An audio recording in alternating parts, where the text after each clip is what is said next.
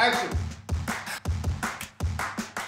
Amy is a journalist who writes for S'Nuff magazine. When you're writing an article and someone says something's off the record, you can still use it. in the No, you can't.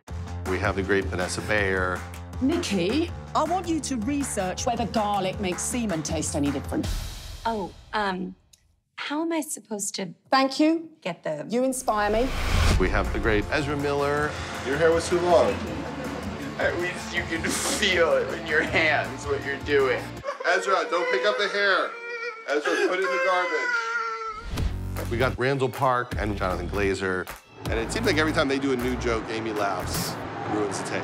Hey, have you ever seen any kind of article about a fetish where guys like to masturbate to hockey fights? That's not a thing. Not a thing. Then why'd it work for me?